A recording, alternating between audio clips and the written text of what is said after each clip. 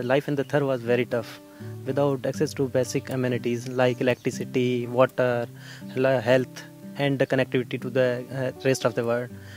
And uh, the lack of job opportunities uh, for, uh, made, very difficult for the local, uh, local and individuals like us to support themselves and their families. When the CPEC project announced, uh, Uh, it bring a uh, lot of job opportunities and uh, sustainable projects and uh, development in this area. I'm really honored to be part of this mega project of Shanghai Electric and uh, I really believe that company will further look for the raw talent of this area.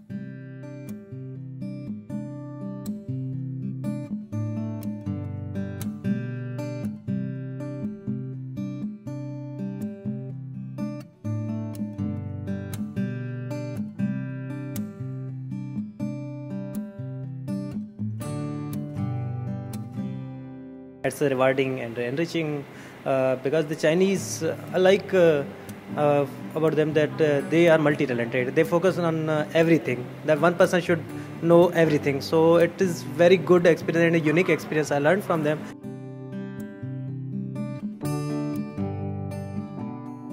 This project is actually consisted with two portions.